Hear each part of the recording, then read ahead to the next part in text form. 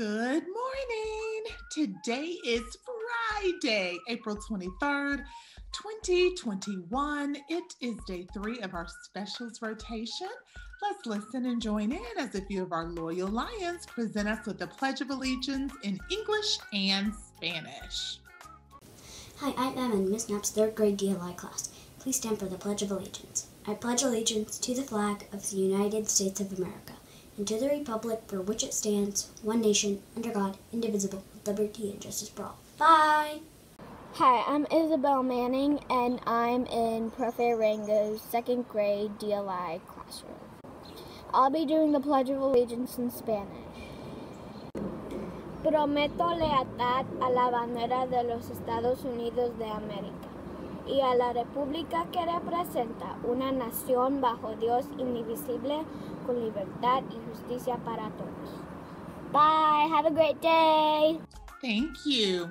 Well, boys and girls, for our um, moment of mindfulness, I have a quote, and it states Your mind is a garden, your thoughts are the seeds. You can grow flowers or you can grow weeds. Oh my goodness, I love that.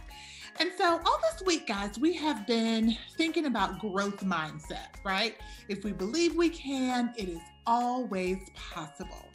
Make sure you are thinking growth mindset thoughts today. Tell yourself you can do it. And so, I want you to think about um, one thing that you are grateful for today. It could be a person, an object, or even an idea.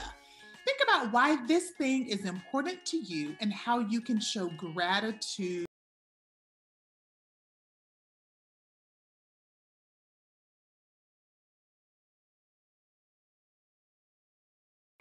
Awesome. And so now we want to share with you a Feel Good Friday from a couple of our students from Flipgrid that um, told us about why they love Feel Good Friday or what they do for Feel Good Friday. Let's listen in. Hi, my name is Shani, and this is Professor Shani's third grade DLI class. And what makes me really feel good is when I just be with my family and stuff.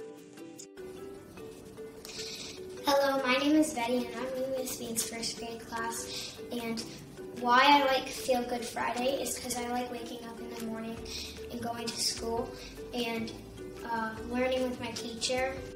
What makes me feel good on Fridays it, is to um, um, snuggle with my doggy and um, and have um, green tea. Bye. Thank you. So now for our classroom and individual student shout outs. We have a shout out for first grade DLI from Miss Hollis Bruce. You worked so hard on your social studies economics projects. We enjoyed watching all of your creative commercials and seeing your cool ideas. You all put so much effort and it shows. Pat yourselves on the back. All right. Mrs. Ianides and Miss Benner's fifth grade class, social studies. Miss uh, Ianides states, my class all spent time thinking about their answers to the IB questions on a recent test about the Cold War. You guys make connections between historical study and how it impacts others around the planet even today. Kudos, kudos, kudos. All right, um, Coach Chartier wants to give a shout out to fourth and fifth grade students. She says, This year I have seen the best results and scores on our FitnessGram push up assessment. Way to go and keep up the great work. I'm proud of you. We have a shout out for Ruthie Gansky and Miss Shershale's fourth grade class from Mrs. Weingart. Ruthie Gansky was kind to a student who was struggling during music. She quickly and quietly responded to that student in an effort to discreetly lift their spirits when they were upset. I appreciate her willingness to be such a kind member of the class and thank her for her efforts. Thank you, Ruthie. so sweet. We also have um, one last shout out for Miss Roberts' virtual class. Miss Roberts says that this class continues to persevere and work hard in class.